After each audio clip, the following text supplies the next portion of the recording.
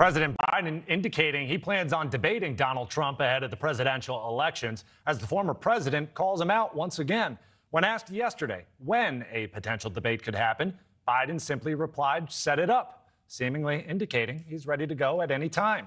The president's reply comes as independent candidate. Robert F. Kennedy Jr. says he also should be included in that debate. The only three way presidential debate in history occurred before the 1992 election of former presidents George H.W. Bush, Bill Clinton, and Ross Perot, who was invited due to his high polling numbers. News Nation's Kelly Meyer is following this story and joins us live from the White House. Kelly, any indication by the White House on when a debate could happen?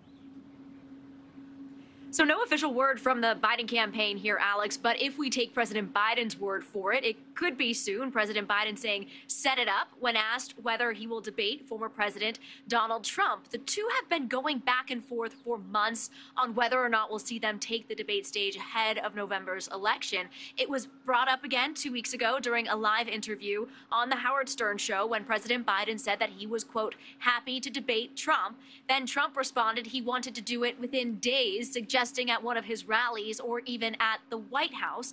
Last night, Trump took to Truth Social to call on Biden to schedule the debate, saying they can do it again at the White House or in New York City, where the former president is currently on trial. Now, the Biden campaign has yet to put something on the schedule. Previously, Biden had said it depended on Trump's behavior if he would debate him. But here's what Biden said yesterday and what Trump had to say in response. Take a listen.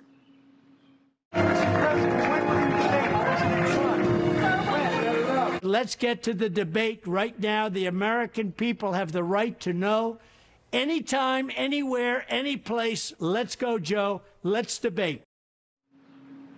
So these are the proposed debates by the Commission on Presidential Debates. Now, these may not be the final dates in the end, and neither campaign has said they will accept these dates. Former President Trump wants to debate even sooner, as we heard in the video. The commission can't do earlier than those dates proposed, so Trump could be looking at any group or network that could put this on. No words on if those dates work for Robert F. Kennedy Jr. or if he was included on this proposed timing. Now, remember, Trump didn't participate in the Republican presidential primary debates, including ours in Alabama in December. He said he didn't need to because he was so far ahead in the race, but he has said he will debate Joe Biden, and now we wait to see just how soon, Alex. Okay. Thank you for watching. Go to newsnationnow.com to find News Nation on your television provider. And don't forget to click the red subscribe button below to get more of News Nation's fact driven, unbiased coverage.